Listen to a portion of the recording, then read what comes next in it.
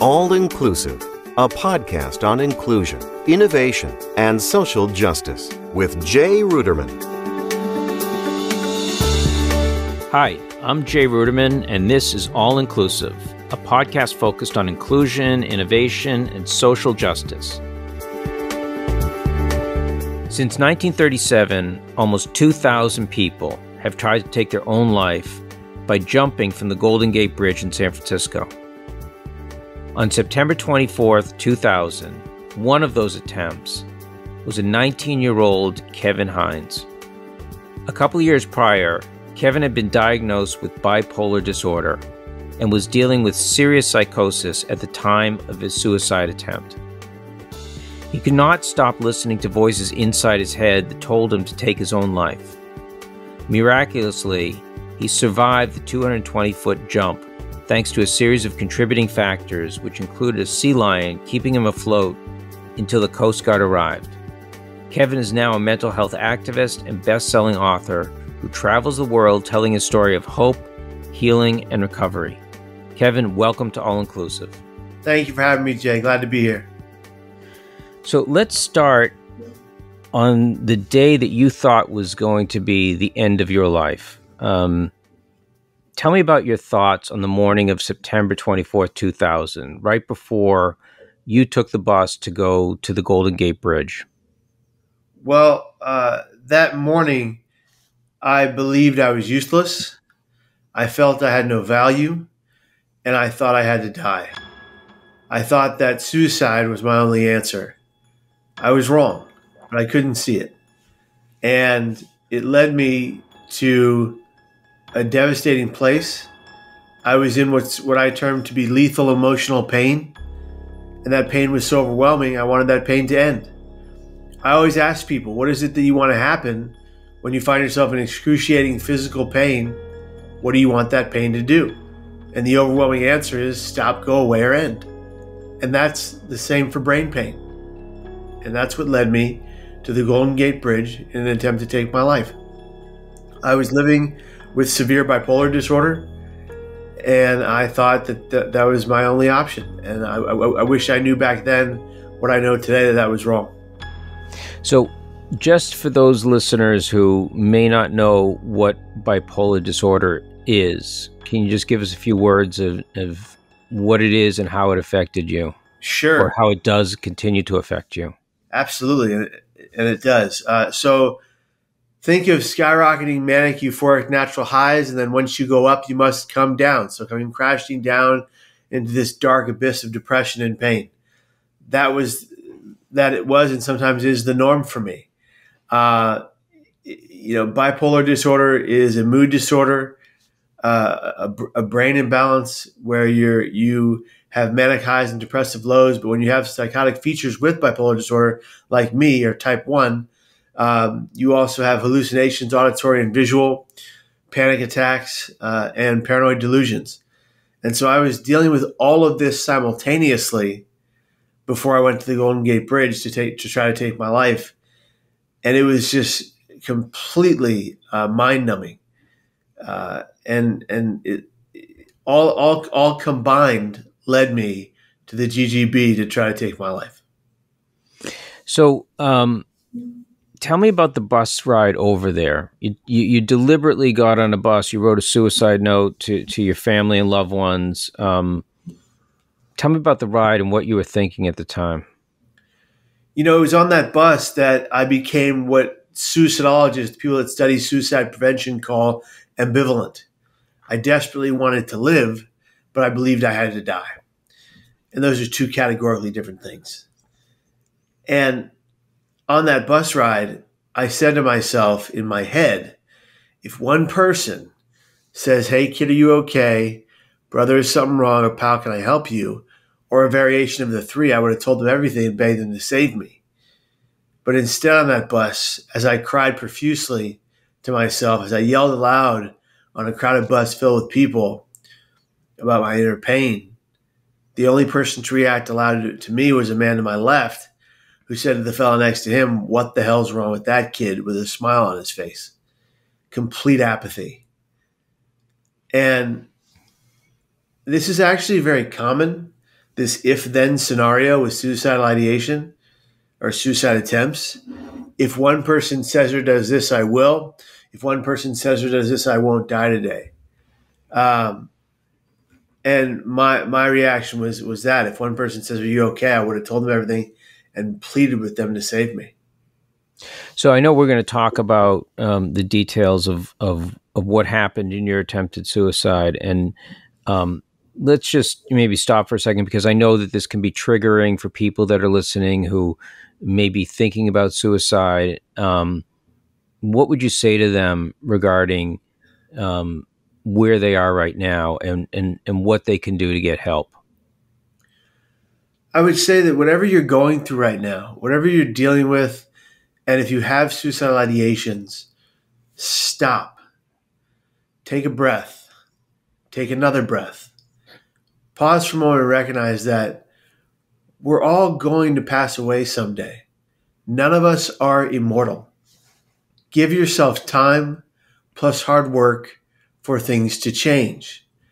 I have now lived 20 years past my suicide attempt, never again attempting to take my life by by working around some tools and techniques for better brain, mind, behavioral, mental health, and physical health and well-being. If you work hard with your mental health, you can survive mental pain. And suicide never has to be the solution to your problem because it is the problem. And so if you recognize that and you find yourself to be self-aware with your struggle, you can always survive that that struggle. It's a matter of perspective and perception. And so I work really hard with educating myself as to my diagnosis, exercising every day, eating healthy foods, uh, using coping strategies, using various forms of therapy and treatment, reputable, proven forms of therapy and treatment. I put together a 10 step plan of better brain health, better brain well being, and I do it every day and it keeps me here. I live with regular thoughts of suicide, yet I've never again attempted to take my life because of these techniques. And it's something that are science backed, evidence informed, proven tools for better brain health. And I really built it myself uh, for myself, and then I shared it with the world. Um, you can find my plan on youtube.com slash Kevin Hines under a, a, video called The Art of Wellness 2.0. And it, it can help you stabilize your your your your wellness.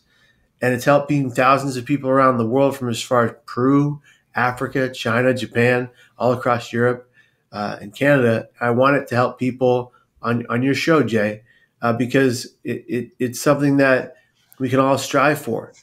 If we're struggling, we can defeat that struggle one day at a time. It, you don't have to you don't have to think about the future. You don't have to dwell on the past. You have to focus on right here, right now and then being here tomorrow.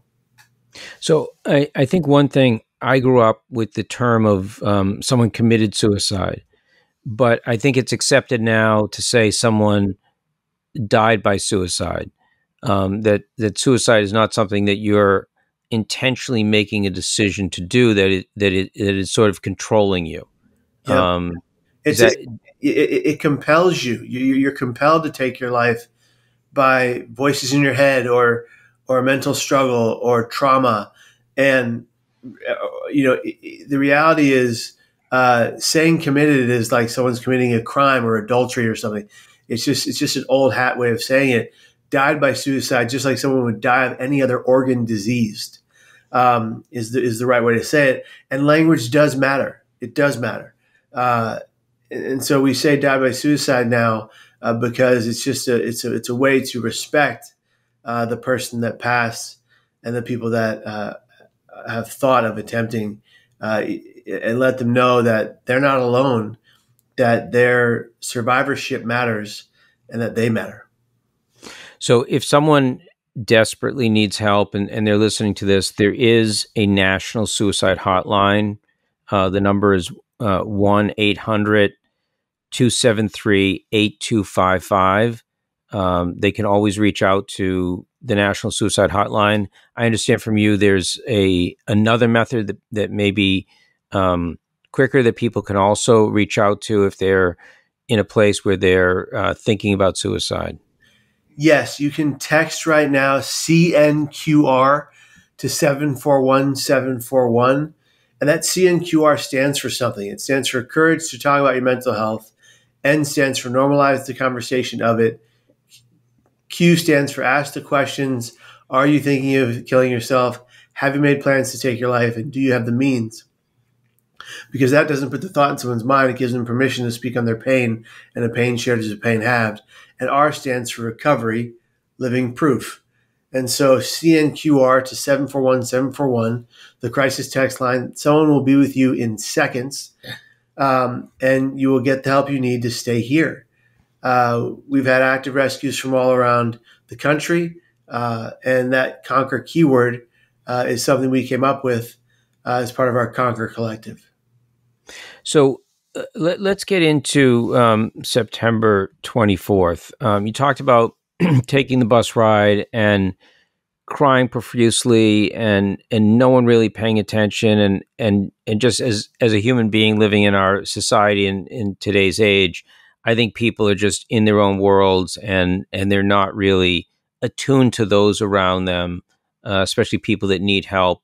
They're sort of um, avoiding those types of conversations which is which is unfortunate but that's something that you experienced and that was something you were looking for. I even remember um, an article where you talked about getting to the Golden Gate Bridge um, and looking for people and walking up and down and and and looking for people to to stop you, and even a woman who asked to take pictures, um, which you thought was a little bit bizarre, but I guess you got to the point where no one really stopped and, and asked, "Are you okay?"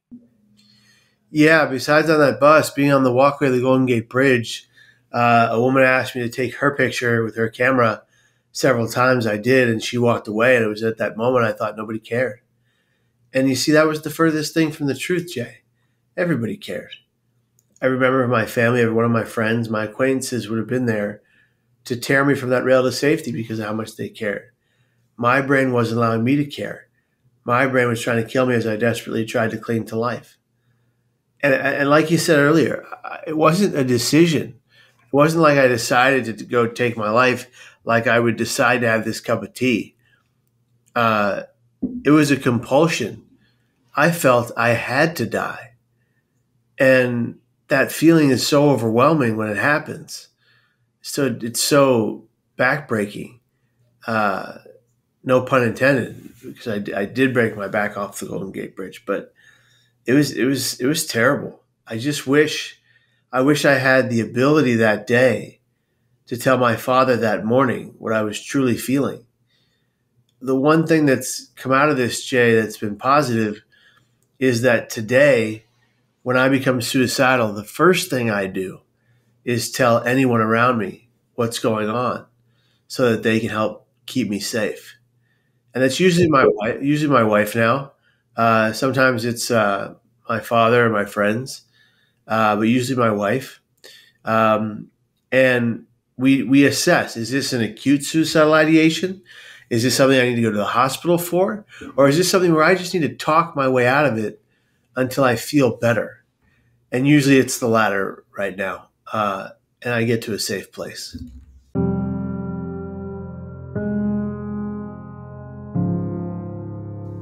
So you're on you're on the Golden Gate Bridge. Your hands are on the rail.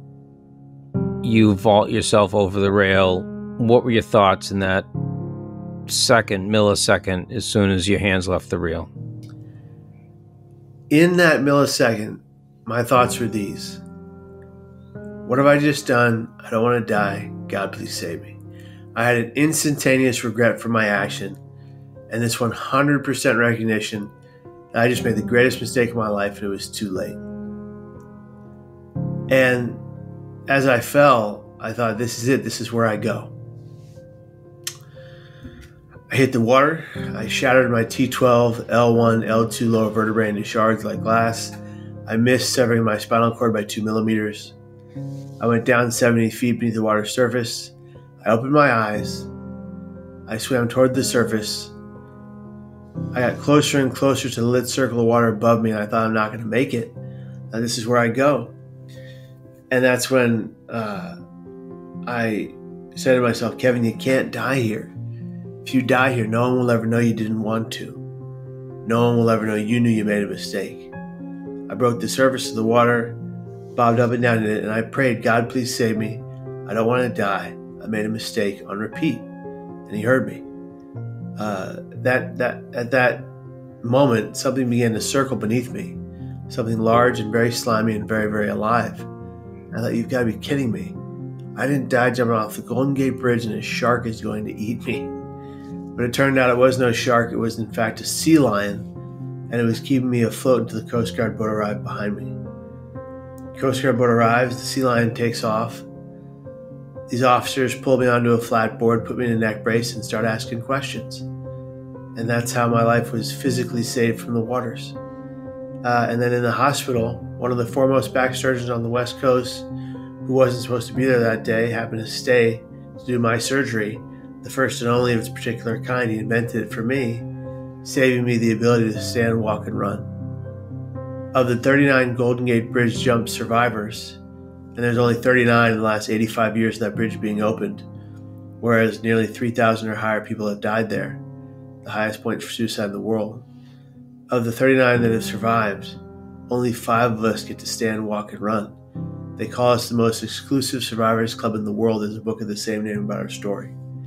So when I say I get to be here, I really do. And what is it about the Golden Gate Bridge that I mean, so many thousands of people have taken their lives there? You know, is it is it the height? Is it the accessibility? Is it uh, you know? I mean, w- why did you choose that location? People choose the Golden Gate Bridge because of an ease of access to lethal means. It's a four foot rail. It's simple. If you're tall enough, you can fall over. It's not because it's a beautiful view.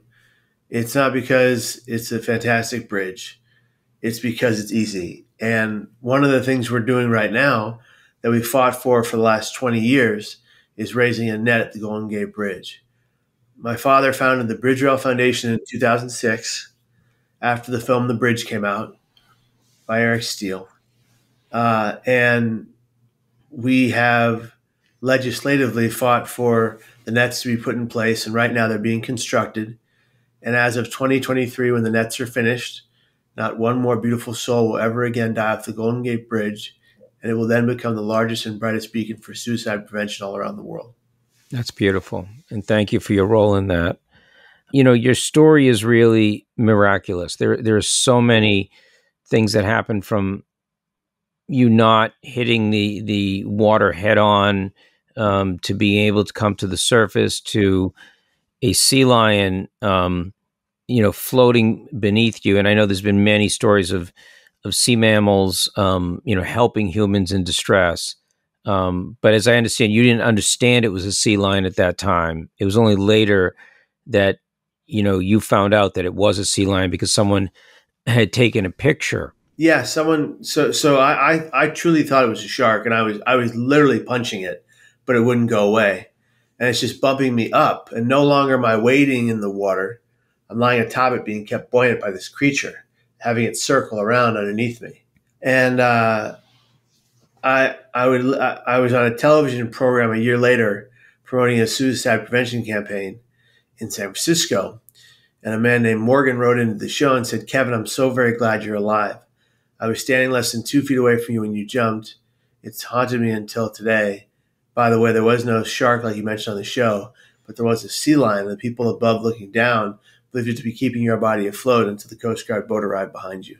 Do you remember what, what when you were picked up by the Coast Guard, which I think was also a miracle because a woman immediately called the Coast Guard yes. when you were in the water. Yes, a woman, um, a woman called a, a woman who saw me go over the rail at the moment of my attempt had a car phone, not a cell phone, a car phone, and called her friend in the Coast Guard. Uh, and the reason the Coast Guard got to my position within less than the time I would set in hypothermia and drown was because of that woman's phone call. And do you remember what that Coast Guard officer said to you? Yes. Uh, there were several officers on the boat that pulled me out of the water, and one of them said, Kid, do you know what you just did? And I said, Yeah, I just took off the Golden Gate Bridge. I was fully conscious and aware. And they said, Why? And I had no reasonable answer. I said, I don't know. I thought I had to die today. And the officer leaned in and said, Son, do you understand how many people we pull out of these waters that are already dead? And I said, No, and I don't want to know. And he said, I'm going to tell you anyway. He said, Young man, this unit alone has pulled out 26 dead bodies from these waters and one live one, you. And that gave me a great deal of perspective. Do you consider yourself a religious person, Kevin? I am a religious person. I'm, I'm, a, I'm a Catholic. I've been a Catholic my whole life. The only time I lost my faith in God was when I left off that bridge. Uh, but I always say, no pun intended, I found him on the way down. Right. Right. And and you, must see everything that happened to you and your survival and and and becoming a spokesman for um, suicide prevention eh, to have some sort of divine intervention in your life you know, personally, I feel like I feel like I do have that, and that's that's my prerogative. I've always felt that way. I don't push that on anybody. You know, there's people that don't believe. That's fine, but this is this is something that you know all the things came into play to save my life. It wasn't just one sequence. It was, the woman's phone call. It was the sea lion. It was the Coast Guard. It was the doctor at the hospital staying for as long as he did, and and doing my surgery. You know, uh, had all had all those miracles not occurred uh, my life would be a lot different, uh, or, or I wouldn't exist. Can you tell me what it was like seeing your dad? I mean, he was the first person to show up at the hospital from your family, and and what that was like. It was so rough because my father is arguably the man that loves me the most in the entire world, and he was devastated. And this is a man who in 19 years of knowing him up until that point, I was 19 when I jumped. I'd never seen the man cry, not a teardrop from his eye, not a, not a, not a, not a hard time in his, not a, not a, not not a visible struggle from his, from his face. Uh, you know, tough sunset Irishman. He and Debbie Hines adopted me and made me their son. You know, uh, he was just the toughest SOB I ever knew. Like the drill sergeant who was never in the military, that kind of guy, you know? and he walks into my room and i remember looking up at him in my bracing structure that was keeping me together and he looked down at me and he goes kevin i'm sorry. I said no dad i'm sorry. And waterfalls just poured from his eyes. Uh, just poured from his eyes. And uh, that was really difficult for both of us. Because he wasn't one to ever show emotion. You know, Kevin, many of us, I have, I have four teenagers, and we worry about them every single day. And you know, with social media and and what's out there on the internet, and so much time, uh, you know, alone on their on their phones, um, I worry about my kids all the time. And and you know, I'm sure there are many listeners who have relatives, and they're like, "Yeah, I'm just, I'm worried," and and what do you do? Like what what are the steps we need to take to make sure I mean because like if a child of mine doesn't feel well, has a stomach ache, breaks a bone or whatever, I'm going to take him to the hospital. Um, there's so much stigma around the issue of mental health. What do you do? You, you you think like someone's just not right. I mean, what's your advice? Yeah, so so for parents all around the the world, you need to you need to ask the questions. You need to be the type of parent that digs deep and asks the hard questions. You need to start off with, hey guys, you know, let's all have a conversation at the dinner table and let's be honest about what we're going through. Have you guys, first of all, have you guys dealt with any students at your school or at, in your in your experience that have had suicidal ideation? Have you have you ever had thoughts of killing yourself yourselves? Have you ever made plans to take your life? Do you have the means? You know, ask those direct questions. They don't put the thought in someone's mind. They give them permission to speak on their pain. As I said before, a pain shared is a pain halved. Uh, the, the, the fact is that more people give truthful answers to the question, are you thinking of killing yourself? than the question, are you thinking of suicide? Because of the taboo on the word suicide. The crisis text line algorithm has determined that. It's fascinating. That language really does matter, just like when we say died by suicide versus commit. And, you know, uh, the reality is if you're willing as a parent to have that open-ended conversation but without um, with a lack of judgment afterwards whatever the answer may be and with a lack of anger afterwards whatever the answer may be and an understanding and an empathetic tone and kind eyes and saying, look, we care about you so much. We love you so much, unconditionally so. And we want to make sure you're safe every day. And so many people around the world are, are, are taking their lives. You know, more more young African American children, ages five and up, are taking their lives than ever before in this country. It's terrifying. So we need to we need to be able to ask our kids, no matter what age they are, about these questions so they're aware of it. We, you know, I was just in Massachusetts with my godchildren, and one of them, uh, who's 10, um, has a student in his class who's currently suicidal, and he doesn't know what to do. Uh, and so we talked about that and, and, we had an open conversation. And one of them uh, is six, and we had a conversation with her um, about, about what this means. And you know what? it was terrifying to know that she understood what we were saying. So they're capable. They're they're in, they're intelligent. They are aware. We have to have the conversation. Well, I, I would say that that you know one of the things that that people talk about, and I'm I'm very interested in your journey of mental health recovery. Um, but it's often said that, that that people that are considering suicide that you never know, and and you know from what I have read and understood about you that you grew up in a loving family. And did they have any inclination that this was going through your head? That that this was this was a thought process that you were you were going through? No, uh, but but but to be fair, uh, they didn't know because I hid it from them. Uh, but but that all the more reason parents need to ask the questions. Nobody taught Pat and Debbie Hines suicide prevention techniques. No one taught Pat Debbie Hines to ask the questions at a young age. No one taught Pat Debbie Hines about mental health and well being. So how could they know what to ask? I was in treatment. I was seeing a psychiatrist. I was on medications. They didn't know the medications were toxifying in my system, making me worse because I was on too many meds at one time, uh, which is not indicative of psychiatry or the field of medicine. Psychiatry in the field of medicine has helped save my life for 20 years. But this particular regimen of pills was affecting me in a negative way. Uh, we didn't learn that out till later, of course, after my attempt. Uh, but, now we have the education. Now more people than ever before talking about mental health. You know, now it's. I mean, look, look at it, it's even on the Olympic stage. You know, you, you've got uh, Olympic athletes and even tennis players uh, talking about their mental health. Michael Phelps talking about his mental health, um, and we need to respect people who take a step back uh, to take care of their mental health and well being uh, because of their personal mental health struggles. Um, and, and I think that there's a lot of, you know, we, we call it stigma when someone is, is, is against those with mental health crises. But the reality is, we don't call bigotry and hatred and prejudice stigma. We call it bigotry and hatred and prejudice. Let's call what's going on to those with mental illness exactly what it is marginalization and discrimination against them because of their brain pain uh, and, and let's let's help them be vocal about their struggle and understand what they're going through and empathize and lack in any judgment for them. So maybe you can get a little bit about your mental health process and, and how you went from being, you know, the aftermath of being, you know, the Golden Gate Bridge to recovering um, or being able to deal with on a day to day basis your mental health. Absolutely, and and, and the, the, reality is is that I live in recovery every single day. So it's it, it really is a process.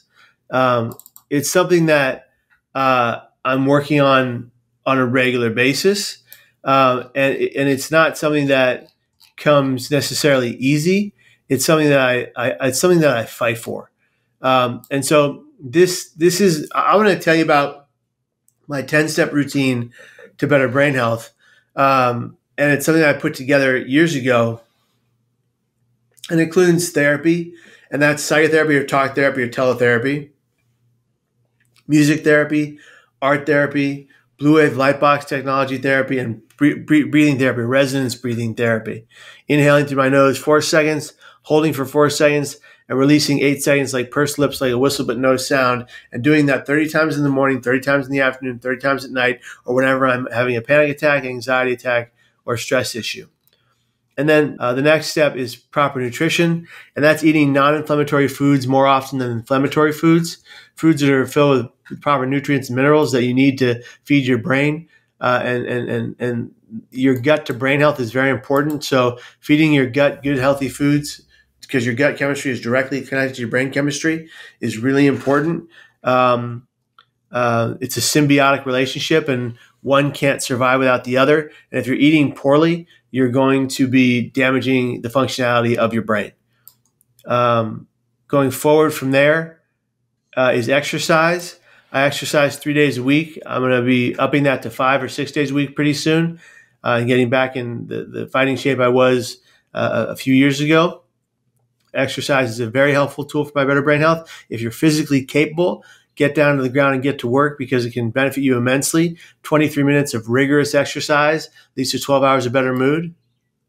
Sleep is really important. If you have the ability to get seven, eight hours of sleep a night, um, I sleep that much and I, I, I sleep well. Um, my sleep functionality is really important. If I'm doing that, I'm, uh, I'm stabilizing my brain health in a great way.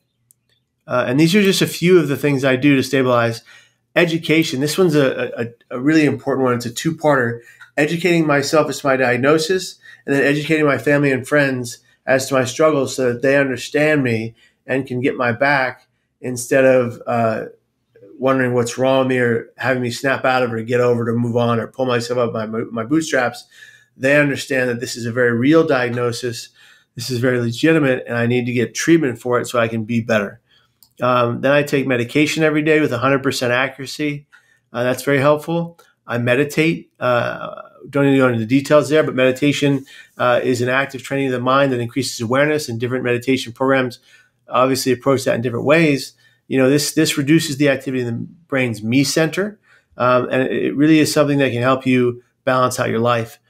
Um, and then I and then I advocate. I advocate for myself and my mental well being with my doctors uh, and I and, and I and I do public policy advocacy as well. So two types of advocacy there, and then I have coping strategies and mechanisms uh, like grounding techniques, socializing with family and friends, spending time with a pet, uh, like an emotional support animal, which I used to have, uh, time with myself, alone time, uh, using humor to deflect the pain, um, finding spirituality and faith that helps me stay stable.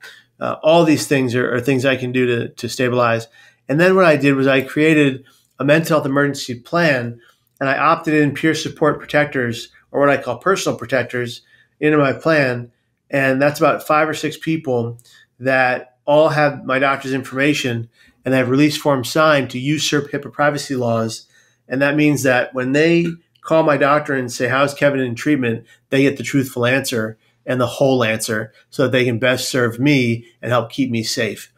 There are things people do. Uh, there's some great resources that we have for folks, and I'd love to share them with your audience if that's okay. Sure. So, a couple things. I mentioned it earlier. The youtube.com slash Kevin Hines has 500 plus videos, all designed to help your brain, mind, behavior, mental, and physical health and well being. They are uh, dedicated to help helping people stay here uh, people from all around the world write to say that these videos save their lives. We don't own that. We just we just put the message out there. We're conduits, and the and the videos do the do the work they do. Um, we have a, a, website called kevinhinesstory.com slash resources, and this has the 10 step guide to better brain health, and you can train with that PowerPoint. And then there's a, a teens guide, to, a parent's guide to teen suicide prevention and then there's a, a, guide to the YouTube channel on what videos help what person with what, what mental struggle. So there's three resources there. Uh, and, and then there's a, a my new book, uh, The Third Rail in My Mania I Became. Uh, and you can find that at thethirdrailbook.com. And that's the, and then the number three RD spelled out. Uh, and then that book is a, the story of a man named Jesse Cohen. And it's written by Jesse Cohen and myself. Uh, and Jesse Cohen was a Tulane law student in his 20s in the height of the organized crime era in the 1990s uh, in, in New Orleans. And he, in his mania, became a vigilante. He was like, if you will, like Batman. He would go out in a black suit, black tie, and black shirt, and he would stop crimes listening to police scanners. And he would he was taught Krav Maga by a Vietnam War veteran, and he went out and he took criminals to task and then left them for the police um, and and he in his mania, it just led him to do this to be this wielder of justice, but the story is absolutely phenomenal. It's a roller coaster of a ride. It's a pretty intense book, but the message is clear stay alive from suicidal ideation and, and, and keep fighting the pain. Jesse tragically lost his life to depression and suicide, um, but he left this legacy with this book, um, and it, it's it's already helped people uh, stay alive. We've gotten messages from folks saying that this book saved their life. Um, and that was the purpose of writing the book. And it's written in Jesse's first person, uh, and it is, it is powerful. Uh, and it's a it's a it's a message that is quite clear. So uh, those are our resources. We want them to help people stay here. We want them to help people fight their pain, and we want them to help people recognize their true value. that suicide is never the answer. Well, Kevin, it sounds like you've done a tremendous amount of work, um, not only for yourself but for others, and to give people the techniques in order to um, walk themselves through this journey. Um, I can tell you personally that I I really identify with uh, working out and eating right and keeping yourself healthy, and um, and I advocate for that because I think I think that that makes you feel uh, good. Um, so I I I get where, where you're coming from there. Um, let, us talk about when you were um, 17 and and first diagnosed. And tell me about the resources you had at home and in school and and and were they adequate at the time? You know being first diagnosed with bipolar disorder uh, there weren't many resources certainly not at school. There was a, a, good counselor that i had at school mr marty procaccio and mr uh, um, vittorio anastasio. They were they were great. They were really helpful and, and kind to me um, but there weren't like you know um, places i could learn about my struggle. Uh, one of the things that happened later on is that I went to a family to family class at NAMI, National Alliance on Mental Illness, with my father, and we learned about depression together, and that was helpful. My psychiatrist was was helpful, but he turned out to be on methamphetamines the entire time he treated me as other patients. He needed help, and he wasn't getting it, and he would end up taking his life uh, years later we wouldn't learn about his struggles until five years after we started seeing him. I started seeing him. Uh, but my parents certainly didn't have the resources that are out there today. And there are plentiful resources out there today. Every time you turn around, there's a new mental health advocate popping up on Instagram or or or, uh, or, or one of the social medias. Um, but really, you need to you need to do your research and carefully find out who are the leading authorities in, in mental health and well being so that you get the best information possible and the best tools to fight your pain and to help your children or help your loved ones who are struggling. So, um, I have a personal question, I, and, and, this is just something that I've, I've been dealing with for a while. I have a very good friend. He's obviously going through some psychosis. I've talked to him over and over again, tried to get him help, tried to offer to set up help for him.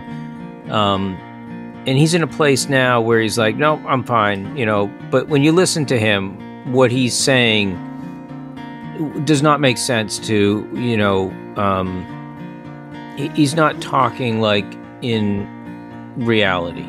So, how do you get through to a person like that who says he's obviously going through something, but completely denies that there's something going on? So, for folks in denial, it's a tricky situation. But one of the things that seems to work is this thing called the caring letters. You would be sent regular caring letters that said, Hey, thinking about you, wishing you well. How are you feeling in treatment? Is there anything you need from us? How can we help you? Um, these caring letters turned into uh, caring letters and caring packages. Uh, and the caring packages would be a whole bunch of things that the person loves in a package plus four or five different letters from four or five different people that love and care for this person, all of them including five things a sentence about compassion, love for the person, lack of judgment, total empathy, and all the signs, symptoms, and triggers and issues you were worried about with that person. And so all of those letters included those five things. And what it did was instead of going in one ear and out the other for the person, it ends up showing them rather than telling them they need help. So showing someone you need help rather than telling them can be often very much more effective than, than just speaking it. Um, and so this seems to be a very helpful tool for people in denial uh, and for those who love them. Let's talk about schools today. Um, are we doing a, a good enough job at destigmatizing mental health and providing the resources that people need? You know, some some high schools and colleges are doing a great job doing that, and some are not. Uh, I would say that there is a there's a group of uh, high school and college leaders that seem to think that um, you know uh, if if you talk about it, then it will get worse, which is not the case. If you talk about it, you will deduce who's in trouble and you will get them to safety. And some folks just don't comprehend that. Some people in leadership of schools don't comprehend that. But there are some schools around the country and around the world that are really taking a, a, a first step uh, and have been taking the first steps into acclimating their, their, their student population into the mental health foyer. Basically saying, we, we are going to cover this topic. We are going to talk about it all year round. And we are going to help benefit your mental health on a regular basis by doing these activities. And they're, they're really making some great headway in keeping kids safe. Uh, there's some great programs out there that are doing those things, um, and, and and there are some great advocates out there doing those things. Uh, my wife and I are, are, some of them. We, we, we go out, we go to high schools and colleges all around the world, and we share stories of lived experience, not just for myself, but from some of our Conquer Collective, and we help people who are in pain recognize their true value and get them to a safe place. Can you t- tell me a little bit about the work that you and your wife are doing um, with the Kevin and Margaret Hines Foundation? Certainly. Uh, well, what we're doing is uh, we're raising funds to uh, give scholarships to students and kids who want to be in the suicide prevention field. So we're getting them into conferences and events and, and, and things of that nature so they can learn and educate themselves about how uh, to be a part of the solution, not a part of the problem. We're also uh, raising funds uh, to give to kids who otherwise couldn't afford uh, teletherapy, so that they have free teletherapy, uh, so that they can get that and and and, and be given uh, treatment and time and, and help for their mental well being. So if someone doesn't have that that readily available access to mental health counseling, that's the direction that you're going to send them in. That that there there are telemedicine, there are ways to get to, to connect to someone to talk about your mental health. Yeah, so you don't feel so alone and so siloed. So you feel like you have someone to fall back on, and and so you can tell your pain and your struggle to to someone who genuinely cares about your well being and your your future. So, what's the one piece of advice um, that you would tell a person right now who was thinking about taking his or her own life? You know what I would say to you is that you need to be more kind to yourself, compassionate and forgiving of yourself. Um, suicide is not the answer to your problem, it is the problem. You are a gift to this world. You are meant to be here until your natural end uh, and you can fight this pain and you can survive it. Pain is inevitable, but suffering is optional. It's a choice. If you recognize that if you call yourself a sufferer, you're becoming the victim of your own story. But if you say you're living with, fighting, and battling and thriving despite of your diagnosis or struggle, you then become the hero of your own story. Fight to become that hero. Recognize your true value, and that suicide doesn't have to be your answer. Uh, it is a problem. Thank you, Kevin. Uh, again, if this was triggering for anyone, I want to again give the National Suicide Hotline 1 800 273 8255. And Kevin, you have a, you have a text uh, where people can text? Yes, text CNQR to 741 741. The crisis text line courage to talk about your mental health, normalize the conversation, ask those questions. Are you thinking of killing yourself? Have you made plans to take your life? Do you have the means? And R for recovery because I'm living proof. Kevin, thank you so much for joining us today. It, it was a pleasure um, I for certain learned a tremendous amount through your story and your life. Um, uh, I admire, you know, what you've made of your life, and and and you should know that there are people out there that love you. And I think everyone out there who has issues of mental health should know that there are people, even if you don't know the people, there are people that love you, and love is out there. Thank you very much, Jay. I really appreciate it. Thank you. Be well. You too. All Inclusive is a production of the Ruderman Family Foundation. Our key mission is the full inclusion of people with disabilities in all aspects of society. You can find All Inclusive on Apple Podcast, Google Play, Spotify, and Stitcher. To view the show notes, transcripts, or to learn more, go to rudermanfoundation.org slash all-inclusive. Have an idea for a podcast? Be sure to tweet at jruderman